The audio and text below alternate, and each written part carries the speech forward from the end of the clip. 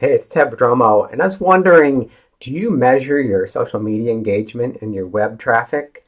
This is one of the reports I get from Sendible, and to be honest, I don't look at this enough because I've had this big audience here that I could be doing so much more with, and I'm kind of ignoring it because, yeah, I really grew my Facebook audience a couple weeks ago with some ads. You see it spiked up. So now my total audience on Twitter, Facebook, Instagram, all my social media is over 40,000 people. And I'm getting, you know, 897 engagements, but I could get so much more. So let me show you some of these reports. It's pretty cool. So here it's showing me, this is kind of a general overview. The Facebook fan page gets quite a bit because I did a lot of promotion on that recently. So I'm engaging a lot of people with a lot of good content. And then there's Twitter engagement, which I totally ignore. I'll show you this. I'm horrible. I got to get better at this. I generate all this buzz and I'm, i could leverage it so much more. But these reports, this comes from sendible.com and it even tells me what time of day I get the most engagement from my posts. So that's really kind of the overview. But here's my Twitter, my audience. I'm almost at 20,000 followers here and then it dropped off lost about 80. It goes up and down all the time. People are always following and unfollowing people.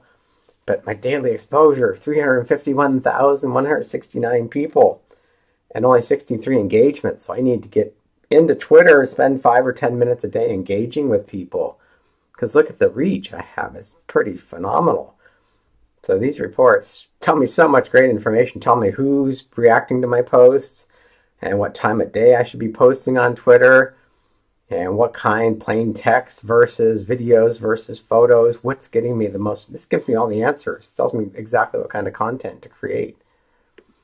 And then here's my facebook here's where i did the promotion to grow my fan page the 10,000 like campaign. And now it's kind of died off because i'm not aggressively trying to add people to my facebook page.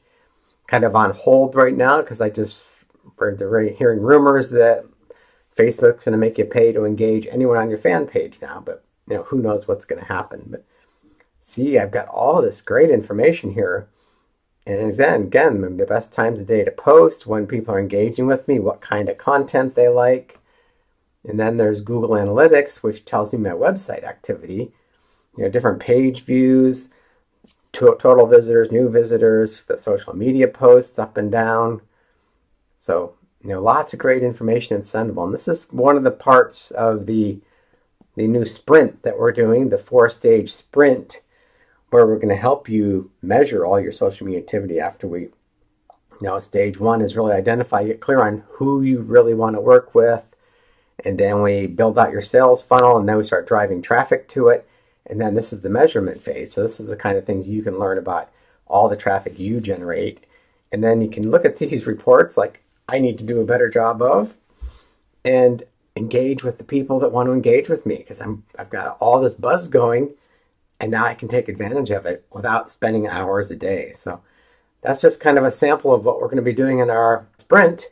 So I'd love to have you join us.